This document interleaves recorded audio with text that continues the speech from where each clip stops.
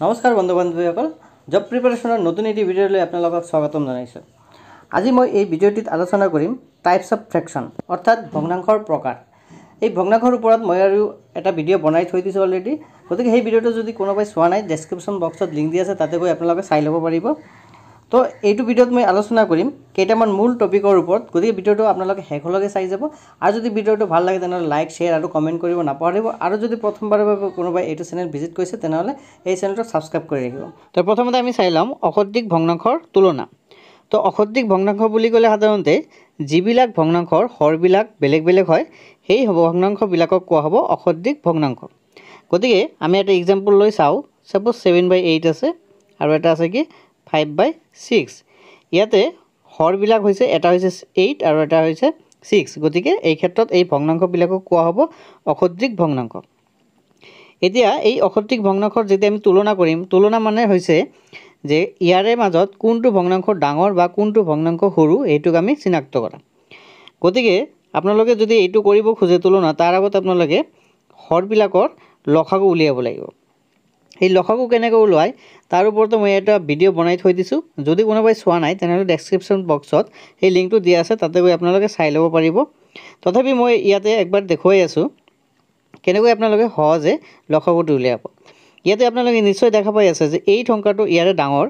গতিকে এই সৰু সংখ্যাটি ডাঙৰ সংখ্যাটোক ডিভাইড নাযায়। গতিকে এই ছয় আৰু আঠৰ লসাগু এৰি থ'ব নোৱাৰে। এতিয়া ডাঙৰ সংখ্যাটোক দুগুণ কৰক। এই আঠৰ দুগুণ কৰিলে কিমান হ'ল? ষোল্ল। যিহেতু ষোল্লক এই ছয়ৰে ভাগ নাযায় গতিকে লসাগুটো ষোল্ল নহ'ব। এইবাৰ আকৌ আঠৰ তিনিগুণ কৰক। আঠৰ তিনিগুণ কিমান? চৌব্বিছ। এতিয়া চৌব্বিছ সংখ্যাটোক কিন্তু আঠেৰেও ভাগ যায় ছয়েৰেও ভাগ যায়। গতিকে এই সংখ্যা দুটাৰ লসাগু হ'ব কিমান? টুৱেণ্টি ফ'ৰ হৈ যাব। এতিয়া আমি যদি তুলনা কৰিব যাওঁ তাৰ আগত আমি কি কৰিম? হৰবিলাক আমি একে কৰি ল'ব লাগিব। অৰ্থাৎ ইয়াত কিমান আছিল আগত? ছেভেন বাই এইট আছিল সেইটো লিখি ল'লোঁ। এতিয়া আমি এই টুৱেণ্টি ফ'ৰ মিলাবৰ কাৰণে আঠৰ লগত কি পূৰণ দিব লাগিব? নিশ্চয় আমি জানো তিনি পূৰণ দিব লাগিব সেই তিনিটো ইয়াতেও দিব লাগিব। অৰ্থাৎ আমি লব আৰু হৰ দুয়োটাতে পূৰণ দিব লাগে। তো তলত হৈ গ'ল কিমান? টুৱেণ্টি ফ'ৰ আৰু ওপৰত হৈ গ'ল কিমান? টুৱেণ্টি ওৱান ছেইম প্ৰচেছত আমি ইয়াতে কৰিম ফাইভ বাই ছিক্স এতিয়া আমি চাওঁ যে ছয়ৰ লগত কিমান পূৰণ দিলে? চৌব্বিছ পোৱা যাব। নিশ্চয় ইয়াতে চাৰি পূৰণ দিব লাগিব ইয়াতেও চাৰি পূৰণ দিব লাগিব। এতিয়া আমি চাওঁ ওপৰত হৈ গ'ল কিমান? টুৱেণ্টি। আৰু তলত হৈ গ'ল কিমান? Twenty four. এতিয়া আমি দেখা পাম যে হৰবিলাক কিন্তু ইয়াৰে দুয়োটা একে আছে। টুৱেণ্টি ফ'ৰ আছে ইয়াৰো টুৱেণ্টি ফ'ৰ আছে। কিন্তু লব কিন্তু বেলেগ বেলেগ হ'ল। এটা হ'ল টুৱেণ্টি ওৱান এটা হ'ল টুৱেণ্টি। যিহেতু টুৱেণ্টি ওৱান সংখ্যাটো ডাঙৰ গতিকে এই ক্ষেত্ৰত কি হ'ব? ছেভেন বাই এইট যিটো আমাৰ ভগ্নাংশ আছে সেই ভগ্নাংশটো ডাঙৰ হৈ যাব। আৰু আগতে কৈছিলোঁ যে ডাঙৰ সংখ্যা যিবিলাক হয় সেইবিলাকৰ মুখখন মেলা থাকে চিনটোত। গতিকে এইবাৰ আমি সৰু সংখ্যাটো কেনেকৈ লিখিম? ফাইভ বাই ছিক্স এইটো আপোনালোকে কৰি চাব পাৰে। আৰু এটা এক্সাম্পল লৈ আপোনালোকক ক্লিয়াৰ কৰি দিব খুজি আছোঁ। ছাপ'জ থাকিল টু বাই ফাইভ ল'লোঁ আৰু এটা ল'লোঁ ছাপ'জ ইলেভেন বাই থাৰ্টিন আৰু এটা থাকিল ফ'ৰ বাই ছেভেন ছাপ'জ এনেকুৱা সংখ্যাবিলাক ল'লোঁ। এতিয়া ইহঁতৰ হৰবিলাক হৈছে এটা হৈছে ফাইভ এটা হৈছে থাৰ্টিন আৰু এটা হৈছে ছেভেন এতিয়া এই হৰবিলাক অৰ্থাৎ ইয়াতে কি কি আছে? ফাইভ থাৰ্টিন আৰু ছেভেন আছে। এই তিনিওটা সংখ্যা কিন্তু ইয়াত মৌলিক সংখ্যা। গতিকে মৌলিক সংখ্যাৰ যদি আমি লসাগু উলিয়াব যাওঁ তেনেহ'লে আপোনালোকে মনত ৰাখিব সদায় সেই সংখ্যাবিলাকক পূৰণ কৰিব লাগে। গতিকে এই ক্ষেত্ৰত আমি এই তিনিটা সংখ্যাৰ যদি আমি লসাগু উলিয়াব যাওঁ তেনেহ'লে five into thirteen into seven কৰিব লাগিব। এইকেইটা যদি আমি পূৰণ কৰোঁ তেনেহ'লে আমি কিমান পাই যাম? ফাইভ ফাইভ ফাইভ পাই যাম। অৰ্থাৎ চাৰিশ পঁচপন্ন পাই যাম। গতিকে চাৰিশ পঁচপন্ন হ'ল। আল্টিমেটলি এই সংখ্যাবিলাকৰ লসাগু এতিয়া আমি আগৰ নিয়মতে চাই যাম। টু বাই ফাইভ আছে। এতিয়া এই ফাইভৰ লগত কিমান পূৰণ কৰিলে ফ'ৰ ফিফটি ফাইভ পাম?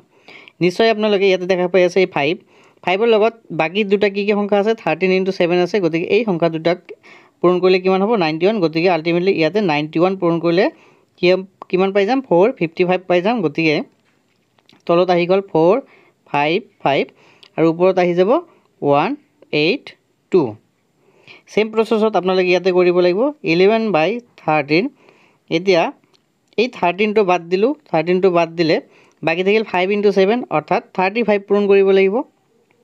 ইয়াতে আমি থাৰ্টি ফাইভ পূৰণ কৰিলোঁ। তেনেহ'লে তলততো সেই ফ'ৰ ফাইভ ফাইভ এইটো হ'বই। আৰু ওপৰত পাই যাম কিমান এইবাৰ? থ্ৰী এইট ফাইভ পাই যাম। এইবাৰ আকৌ যিহেতু আমাৰ ফ'ৰ বাই ছেভেন আছিল গতিকে ফ'ৰ বাই ছেভেন লিখিলোঁ। এই ফ'ৰ ছেভেনৰ লগত কিমান পূৰণ কৰিলে আমি ফ'ৰ ফিফটি ফাইভ পাম? গতিকে কিমান হ'ব? ছিক্সটি ফাইভ হ'ব। এইটো, ইয়াতেও ছিক্সটি ফাইভ দি আমি ইনটু কৰিব লাগিব। গতিকে কিমান হৈ গ'ল? তলত হ'ব ফ'ৰ ফাইভ ফাইভ আৰু ওপৰত থাকি গ'ল টু ছিক্স জিৰ' এতিয়া যদি আপোনালোকে কোনোবাই ভাবে যে সাতৰ লগত পঁয়ষষ্ঠি পূৰণ কৰিলে ফ'ৰ ফিফটি ফাইভ পাম, এইটো আমি ছিক্সটি ফাইভটো কেনেকৈ পালোঁ? এইটো এটা কুৱেশ্যন হ'ব পাৰে। সেই ক্ষেত্ৰত আপোনালোকে কি কৰিব এই সাতেৰে ফ'ৰ ফিফটি ফাইভক ডিভাইড কৰিব। ডিভাইড কৰিলে আপোনালোকে নিশ্চয় দেখা পাব এইটো ভাগফলটো হৈছে ছিক্সটি ফাইভ ওলাব গতিকে আপোনালোকে ছিক্সটি ফাইভ ইনটু কৰিব লাগিব। তো যিয়ে নহওক নহওক আমি তলত গোটেইকেইটাৰে ফ'ৰ ফাইভ ফাইভ পালোঁ আৰু এটাৰ ওপৰত পাইছোঁ ওৱান এইট্টি টু এটাত থাকিল থ্ৰী এইট্টি ফাইভ আৰু এটাত থাকিল টু ছিক্স জিৰ' গতিকে নিশ্চয় যিহেতু থ্ৰী এইট্টি ফাইভ সংখ্যাটো ইয়াৰে ডাঙৰ গতিকে এই ক্ষেত্ৰত ইলেভেন বাই থাৰ্টিন যিটো সংখ্যা আছিল এই সংখ্যাটো হ'ব আটাইতকৈ ডাঙৰ সংখ্যা। তাৰপিছত টু ছিক্স জিৰ' যিহেতু ইয়াৰে ছেকেণ্ড হায়েষ্ট গতিকে ফ'ৰ বাই ছেভেন যিটো সংখ্যা এইটো হ'ব মধ্যম অৰ্থাৎ মাজৰ সংখ্যা। আৰু আটাইতকৈ সৰু সংখ্যা হ'ব ইয়াৰে কিমান হ'ব? Two by five. আপোনালোকে নিশ্চয় বুজি পাইছে। আৰু যদি তথাপি কাৰোবাৰ প্ৰব্লেম থাকি যায় তেনেহ'লে মোক কমেণ্ট কৰিব। এইবাৰ আমি নেক্সট চাম। সদৃশ ভগ্নাংশৰ যোগ আৰু বিয়োগ। এতিয়া সদৃশ ভগ্নাংশৰ বা অসদৃশ ভগ্নাংশৰ কি আছে? যোগ আৰু বিয়োগ আমি কেনেকৈ কৰিম? প্ৰথমতে আমি চাই লওঁ এটা সৰু উদাহৰণ। ফাইভ বাই ইলেভেন ল'লোঁ প্লাছ ইলেভেন বাই চৰি ওৱান বাই ছেভেন ল'লোঁ। এতিয়া আমি কি কৰিম? আগৰ নিয়মমতে ইলেভেন আৰু ছেভেনৰ লসাগু উলিয়াব লাগিব। যিহেতু ইয়াতে মই আগতে কৈছোঁ যে মৌলিক সংখ্যাবিলাকৰ লসাগু উলিয়াব গ'লে সেই সংখ্যাবিলাকক সাধাৰণতে পূৰণ কৰিব লাগে। গতিকে এই ক্ষেত্ৰত কি হ'ব? এঘাৰ আৰু সাত পূৰণ কৰিব লাগিব আৰু পূৰণ ফলটো কিমান হ'ব? সাতসত্তৰ হৈ যাব। এতিয়া আমি চাম এই এঘাৰ দি এই সাতসত্তৰৰ মাজত কেইবাৰ যায়? নিশ্চয় সাতবাৰ যায়। সেই সাতৰ লগত এই ভাগফলটোৰ লগত লবটোক পূৰণ কৰিব লাগে। অৰ্থাৎ পাঁচ পূৰণ সাত। সাতটো আমি কেনেকৈ পালোঁ? এঘাৰ দি এই সাতসত্তৰক হৰণ কৰিছোঁ। সাত আৰু পাঁচ পূৰণ কৰিলে কিমান হ'ব? পঁয়ত্ৰিছ।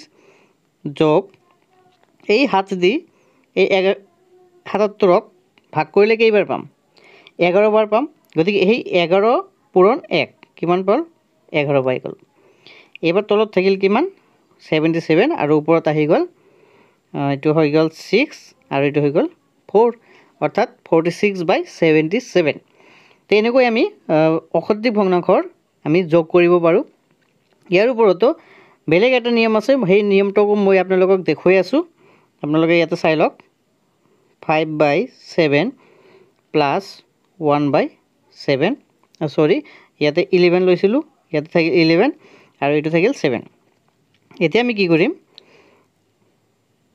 এই ফাইভ বাই ইলেভেন আছে ইয়াক আমি তলত আৰু এটা কি সংখ্যা কি আছে? ছেভেন আছে। গতিকে এই সংখ্যাটোক আমি ছেভেনে দি ইনটু কৰিলোঁ। অৰ্থাৎ এই সংখ্যাটোৰ লগত এই সংখ্যাটোৰে পূৰণ কৰিম। গতিকে ওপৰতো দিলোঁ seven plus one by seven আছে ইয়াতে। সেইটোও লিখিলোঁ। এইবাৰ ছেভেন ছেভেনৰ লগত কি কৰিম? এইবাৰ এইটো সংখ্যা পূৰণ কৰিম। অৰ্থাৎ এইটো আছিল কিমান? ইলেভেন এইবাৰ ইয়াতেও দিলোঁ ইলেভেন দি পূৰণ। এতিয়া এইটো হৈ গ'ল তলত ছেভেণ্টি ছেভেন আৰু ওপৰত হৈ গ'ল কিমান? থাৰ্টি ফাইভ প্লাছ এইটো হৈ গ'ল ছেভেণ্টি ছেভেন ওপৰত হৈ গ'ল এঘাৰ। এইবাৰ মই এইফালে কৰি দি আছোঁ। এইবাৰ ছেভেণ্টি ছেভেন আৰু ছেভেণ্টি ছেভেনৰ লসাগু কিমান হ'ব? ছেভেণ্টি ছেভেন হ'ব। কাৰণ এইটো আপোনালোকে মনত ৰাখিব যে একে সংখ্যাৰ লসাগুবিলাক সদায় সেই সংখ্যাটোৱে হ'ব। এইটো কুৱেশ্যন আহিব পাৰে টেটত কাৰণ টেটৰ শ্বৰ্ট কুৱেশ্যনবিলাক অলপ ক্ৰিটিকেলি কৰি দিয়ে। তো ওপৰত কিমান কিমান আছে সেইটো চিধাকৈ আপোনালোকে লিখি দিয়ক। থাৰ্টি ফাইভ প্লাছ ইলেভেন এতিয়া যদি আমি যোগ কৰি দিওঁ কিমান হৈ যাব? ফৰ্টি ছিক্স আৰু তলত পাই যাম কিমান? ছেভেণ্টি ছেভেন গতিকে দুটা মেথড আপোনালোকক দেখুৱালোঁ। আপোনালোকৰ যিটো ভাল লাগে আপোনালোকে সেইটো কৰিব। নেক্সট এটা এক্সাম্পল লৈ আপোনালোকক আৰু ক্লিয়াৰ কৰি দিব খুজি আছোঁ। আৰু আপোনালোকে এটা চাই লওক ইয়াতে। ছাপ'জ টু বাই থ্ৰী ল'লোঁ প্লাছ থ্ৰী বাই ফ'ৰ ল'লোঁ প্লাছ ফ'ৰ বাই ফাইভ ল'লোঁ। এতিয়া আমি কি কৰিম? এই থ্ৰী ফ'ৰ আৰু ফাইভৰ লসাগু উলিয়াব লাগে। তো থ্ৰী ফ'ৰ ফাইভৰ লসাগু উলিয়াব গ'লে আপোনালোকে ইয়াতে দেখা পাওক তিনি আৰু পাঁচ ইয়াৰে দুটা হৈছে মৌলিক সংখ্যা। গতিকে আপোনালোকে ইয়াতে নিশ্চয় পূৰণ কৰিব লাগিব। তিনি আৰু পাঁচক যদি আপোনালোকে পূৰণ কৰে তেনেহ'লে পাই যাব কিমান? পোন্ধৰ পাই যাব। সেই পোন্ধৰৰ লগত যদি আকৌ চাৰি পূৰণ কৰে তেনেহ'লে কিমান হ'ব? ছিক্সটি হৈ যাব। গতিকে আল্টিমেটলি লসগোটো পাই যাম ইয়াতে কিমান? ছিক্সটি। এতিয়া আপোনালোকে চাওক এই তিনি দি যদি আমি ষাঠি হৰণ কৰোঁ তেনেহ'লে কেইবাৰ যাব? বিছবাৰ যাব। সেই বিছৰ লগত ওপৰৰ সংখ্যাটোক আমি পূৰণ কৰিব লাগিব। অৰ্থাৎ বিছ পূৰণ দুই কিমান পাই যাম? চল্লিছ যোগ চাৰি দি ষাঠিক আমি হৰণ কৰিলে পাই যাম পোন্ধৰ বাৰ। সেই পোন্ধৰৰ লগত যদি তিনি পূৰণ কৰোঁ তেনেহ'লে হৈ যাব কিমান? ফৰ্টি ফাইভ এইবাৰ ছেম প্ৰচেছত পাঁচেৰে যদি আমি ষাঠিক হৰণ কৰোঁ তেনেহ'লে হ'ব বাৰ বাৰ। সেই বাৰৰ লগত যদি আমি এই ওপৰৰ সংখ্যা অৰ্থাৎ চাৰিক পূৰণ কৰোঁ তেনেহ'লে হৈ যাব কিমান? আঠচল্লিছ অৰ্থাৎ ফৰ্টি এইট পাই যাম। এতিয়া তলত থাকিল ছিক্সটি আৰু এই সংখ্যাকেইটাক যদি আমি প্লাছ কৰোঁ তেনেহ'লে হৈ যাব কিমান? One thirty three one thirty three ওপৰত এইটো হৈছে ডাঙৰ সংখ্যা আৰু তলত হৈছে সৰু সংখ্যা অৰ্থাৎ এইটো হৈছে কি? অপ্ৰকৃত ভগ্নাংশ আৰু অপ্ৰকৃত ভগ্নাংশবোৰক সাধাৰণতে আমি মিশ্ৰ ভগ্নাংশত লিখিব লাগে। গতিকে ষাঠিৰে আমি এশ তেত্ৰিছক আমি কি কৰিম ডিভাইড কৰিম কেইবাৰ যাব? দুইবাৰ অৰ্থাৎ ষাঠিৰ দুইগুণ হৈছে এশ বিছ ইয়াত থাকিল এক আৰু ইয়াত থাকিল তিনি। গতিকে আগত আমি কি লিখিব লাগে? ভাগফল লিখিব লাগে। তাৰপিছত ভাজক অৰ্থাৎ ভাজক ইয়াতে কিমান আছে? ছিক্সটি। ইয়াতে লিখিলোঁ। তাৰপিছত লিখিব লাগে ভাগ শেষ অৰ্থাৎ ভাগ শেষটো কিমান আছিল? তেৰ। ইয়াতে লিখি দিলোঁ তেৰ। তো এইখিনি আছিল। এই কুৱেশ্যনটোকে মই বেলেগ এটা মেথডত আৰু একবাৰ আপোনালোকক দেখুৱাই আছোঁ। ইয়াতে আপোনালোকে চাব পাৰে কুৱেশ্যনটো মই ছেম লিখিম। Suppose two by three plus three by four plus four by five ইয়াত আছে। তেনেহ'লে এই সংখ্যাবিলাকৰ লসাগু যিহেতু ছিক্সটি আছিল গতিকে আমি কেনেকৈ লিখিম? টু বাই থ্ৰী লিখিলোঁ। এতিয়া তিনিৰ লগত কিমান পূৰণ কৰিলে ছিক্সটি পাম? নিশ্চয় বিছ পূৰণ কৰিলে ছিক্সটি পাম। ইয়াতো দিলোঁ অৰ্থাৎ ওপৰ আৰু তলত একে লিখিব লাগে। এইবাৰ লিখিলোঁ ইয়াতে কিমান আছে? চাৰি ওপৰত আছে তিনি। চাৰিৰ লগত কিমান পূৰণ কৰিলে? ষাঠি পাম। ইয়াতে নিশ্চয় পোন্ধৰ পূৰণ কৰিব লাগে। অৰ্থাৎ চাৰি পোন্ধৰ গুণ ষাঠি ইয়াতেও আমি কিমান দিলোঁ? পোন্ধৰ দিলোঁ। যোগ ইয়াতে কিমান থাকিল? চাৰি ইয়াত থাকিল পাঁচ। গতিকে পাঁচৰ লগত কিমান পূৰণ কৰিলে ষাঠি পাম? নিশ্চয় বাৰ পূৰণ কৰিব লাগিব। ইয়াতো আমি বাৰ পূৰণ দিলোঁ। এতিয়া আমি ইয়াতে চাম ইয়াতে হৈ গ'ল ছিক্সটি ইয়াতে হৈ গ'ল ফৰ্টি তাৰপিছত ইয়াতে ছিক্সটি ইয়াতে থাকিল ফৰ্টি ফাইভ প্লাছ তলত থাকিল ছিক্সটি আৰু ওপৰত থাকিল ফৰ্টি এইট এতিয়া আমি কি কৰিম? লসাগু যিহেতু প্ৰত্যেকটোৰে ছিক্সটি আছে এইটো ছিক্সটি পাই গ'লোঁ। ওপৰত কিমান আছে? Forty plus forty five plus forty eight এইখিনি যদি আমি যোগ কৰোঁ তেনেহ'লে তলত হৈ যাব ছিক্সটি আৰু ওপৰত আমাৰ যিমান আছিল ওৱান থাৰ্টি থ্ৰী নে কিমান আছিল সিমানে আমি পাই যাম। তাৰপিছত এইখিনি আপোনালোকে অপ্ৰকৃত ভগ্নাংশৰ পৰা মিশ্ৰ ভগ্নাংশত লৈ ল'ব। তো বস্তুখিনি একে ধৰণৰ হ'ব। এইবাৰ আমি চাম অসঠিক ভগ্নাংশৰ বিয়োগ। বিয়োগটো আমি ল'লোঁ ছাপ'জ এটা এক্সাম্পল ল'লোঁ seven minus two one by three তো এইটোক আমি প্ৰথমতে কি কৰিম? এইটো হৈছে মিশ্ৰ ভগ্নাংশ আৰু মিশ্ৰ ভগ্নাংশক আমি আগতে অপ্ৰকৃত ভগ্নাংশলৈ ল'ব লাগে। গতিকে কি হয়? এই দুটাৰ মাজত পূৰণ হয় দুই পূৰণ তিনি ছয় আৰু ওপৰটোৰ লগত কি হয়? প্লাছ হয়। এই ছয় যোগ এক কিমান হৈ যাব? সাত হৈ যাব। এতিয়া কিছুমানে কি কৰিব পাৰে? এই হাতৰ পৰা এই হাতটো মাইনাছ কৰি দিব পাৰে। এনেকুৱা ভুল নকৰিব আপোনালোকে। কাৰণ সেইটো হৈছে কি? ভগ্নাংশৰ যোগ বা বিয়োগ। গতিকে সাধাৰণতে যিকোনো সংখ্যাৰ তলত কি থাকে? এটা এক থাকে। আপোনালোকে এইটো মনত ৰাখিব যিকোনো সংখ্যাৰ তলত। গতিকে এক আৰু তিনিৰ লসাগু আমি উলিয়াব লাগিব। নিশ্চয় ইয়াৰ লসাগু কিমান হ'ব? তিনিয়ে হ'ব। গতিকে লসাগু যদি তিনি হয় গতিকে আমি লসাগুটো ইয়াতে লিখি ল'লোঁ। এতিয়া আমি কি চাম? যে একেৰে এই তিনি কেইবাৰ যায়? অৰ্থাৎ একেদি যদি আমি তিনিক হৰণ কৰোঁ নিশ্চয় তিনিবাৰে যাব। সেই তিনি আৰু ওপৰত কি থাকিল? সাত। এই পূৰণ কৰিলে কিমান হ'ব? একৈছ তাৰপিছত লিখিলোঁ বিয়োগ চিন আছে বিয়োগ দিম। যোগ চিন থাকিলে যোগ দিম। এতিয়া এই তিনি দি এই তিনিক হৰণ কৰিলে কেইবাৰ যাব? একবাৰ যাব। এই এক পূৰণ এইটো সাত। তেনেহ'লে কিমান হ'ব? সাতে পাই যাম। এতিয়া ইফালে কৰি দিওঁ। ইয়াত থাকিল তিনি। একৈছৰ পৰা সাত বিয়োগ কৰিলে কিমান পাই যাম? চৈধ্য পাই যাম। এতিয়া আমি ইয়াক যিহেতু অপ্ৰকৃত ভগ্নাংশ পালোঁ ইয়াক আমি মিশ্ৰ ভগ্নাংশলৈ ল'ব লাগিব। আপোনালোকে এইটো মনত ৰাখিব। কেইবাৰ যাব? চাৰিবাৰ যাব তিনি চাৰি গুণ বাৰ ইয়াত থাকিল দুই। এতিয়া ভাগফলটো আমি পাইছোঁ কিমান? চাৰি। এইটো আগত লিখিলোঁ ভাজক হৈছে কিমান?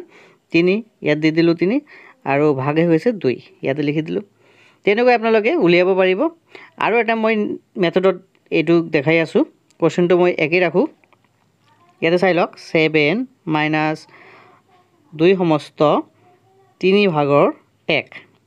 তো এইটোক আমি কি লিখিম? একো নাই যদি তথাপি এটা এক লিখি ল'লোঁ। তাৰপিছত আগৰ নিচিনা আমি লিখিম, তিনি আৰু ওপৰত কিমান আহি যাব? সাত হৈ যাব।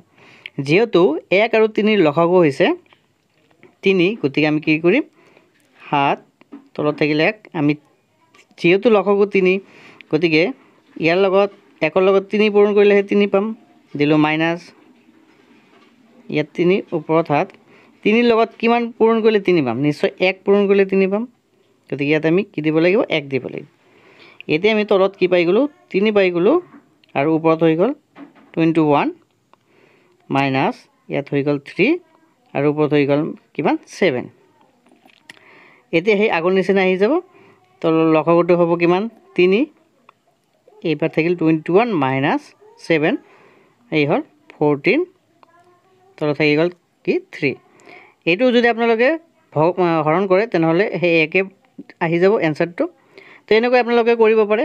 আৰু এটা যিহেতু ইয়াত মিশ্ৰ ভগ্নাংশটো পিছত দিছোঁ এইবাৰ মই আৰু এটা এক্সাম্পল দেখাম। সেইটো মিশ্ৰ ভগ্নাংশটোক এইবাৰ মই আগত ৰাখিম। তো এই ক্ষেত্ৰত আপোনালোকে কেনেকৈ কৰিব? ছাপ'জ আঠ সমস্ত ছয় ভাগৰ এক ল'লোঁ বিয়োগ তিনি ল'লোঁ। এতিয়া আমি কি কৰিম? এই দুটা আগত পূৰণ কৰিব লাগে। ছয় আঠ আঠচল্লিছ যোগ এক কিমান হ'ল? ঊনপঞ্চাছ বিয়োগ এই হ'ল তিনি। যিহেতু তিনিৰ তলত একো নাই গতিকে ইয়াতে এটা এক বহাই ল'ম। এইবাৰ ছয় আৰু একৰ লসাগু কিমান হ'ব? নিশ্চয় ছয় হ'ব। গতিকে ফৰ্টি নাইন তলত থাকিল কিমান? ছিক্স। যিহেতু লসাগু ছয় হৈছে গতিকে ছয়ৰ লগত কিমান পূৰণ দিলে ছয় পাম? নিশ্চয় এক পূৰণ দিলে ছয় পাম। গতিকে ইয়াত দিলোঁ এইটো। মাইনাছ কিমান আছে? থ্ৰী বাই ওৱান আছে। গতিকে একৰ লগত কিমান পূৰণ দিলে ছয় পাম? ছয় পূৰণ দিলে ছয় পাম। কাৰণ আপোনালোকে এইটো কি মিলাব? সদায় লসাগু কিমান হৈছে সেই সংখ্যাটোক মিলাব লাগে। গতিকে তলত কিমান পালোঁ? ছিক্সে হ'ব আৰু ওপৰত থাকি গ'ল কিমান? ফৰ্টি নাইন মাইনাছ ইয়াত ছিক্সে পাম আৰু ইয়াত হৈ যাব কিমান? এইটিন গতিকে ইয়াতে আপোনালোকে চাওক। ছিক্স আৰু ছিক্সৰ লসাগু একে হ'ব কাৰণ একে সংখ্যাৰ লসাগু সেইটোৱে হয়। তো ইয়াতে লিখিম আমি এইবাৰ ফৰ্টি নাইন মাইনাছ এইটিন এতিয়া আমি কিমান পালোঁ? ছিক্সটো তলত থাকিল। এতিয়া যদি বিয়োগ কৰোঁ বিয়োগ কৰিলে পাই যাম কিমান? থাৰ্টি ওৱান থাৰ্টি ওৱানক আমি যদি হৰণ কৰোঁ তেনেহ'লে কিমান বাৰ যাব? পাঁচবাৰ যাব।